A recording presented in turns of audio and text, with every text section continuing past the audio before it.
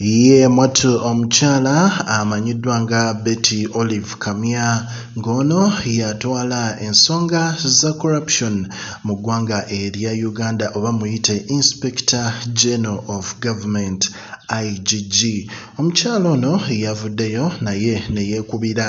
Enduulu minisita ono betty namisango kamya yavuddeyo n'agamba nti bannaaye ekituufu kiri nti ndi ku bunkenke nga nkoko ya mutamiivu.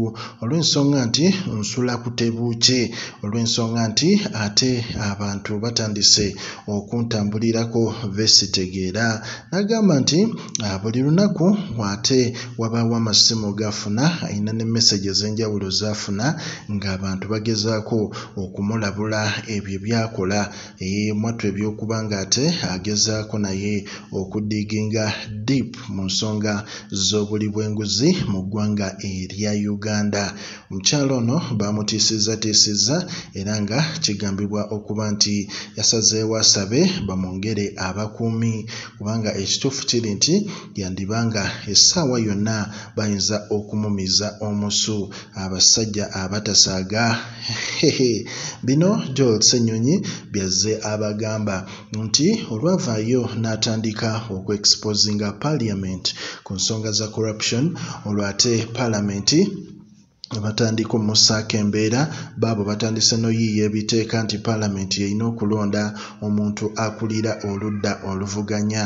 Ndowooza owulira ebintu ng'ebyo. So mu mbeera eyo n'omukyala ono obunkenke bwaliko bwebwo naye ffe tugamba ekintu kimu bano bonna be bamu. Naye nga waba ayina ekirungi ky'akoze tuyina okumuwa respect. N'okuba nga ate naffe tumusabira ate mukama agezeeko mukuuma alabike nti ebirungi ebyo byagezaako okukola ebyagazisa n'okumutta asigale ng'abikolera ddala. Kubanga kituufu okusaavinga mu regimu ya tibwabulwa olina kubeera nga bo toyinza kuba wanjawulo nga bo.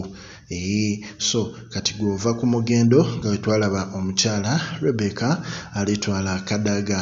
Yagezaako naye okuva ku mugendo abasajja ne bagamba gwe tetugenda kutumanyira ne bamugja ku bwa sipiika olwamala okumugja ku bwa sipiika olwo mwattu ne bamutega kali kanywe okawulire. Era nga ffenna tumanyi omukyala oyo essaawa zino waafaanana n'embeera gy'alimu.